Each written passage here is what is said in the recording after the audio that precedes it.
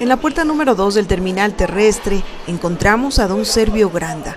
Él es funcionario municipal desde hace 35 años. Con su carisma y don de gente se ha ganado el respeto y cariño de sus compañeros. Sin embargo, a pasar de los años, su salud se complicó.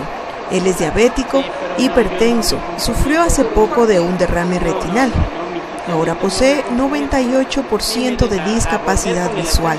A más de ello, se somete constantemente a sesiones de diálisis. Ahora con sus 65 años de edad, decidió solicitar la jubilación sin obtener resultados alentadores. Según informó otras cámaras, le estarían dando largas al asunto con la finalidad de que renuncie, lo que dice por ningún motivo le convendría y por eso continúa laborando con dificultades, pero es constante, pues tiene una familia que depende de él. Don Servio dice que esperará la llegada de las nuevas autoridades municipales para realizar nuevamente su petición.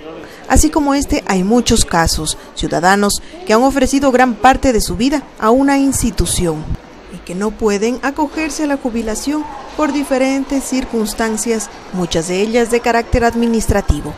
Para Mundovisión, Joana Chamba.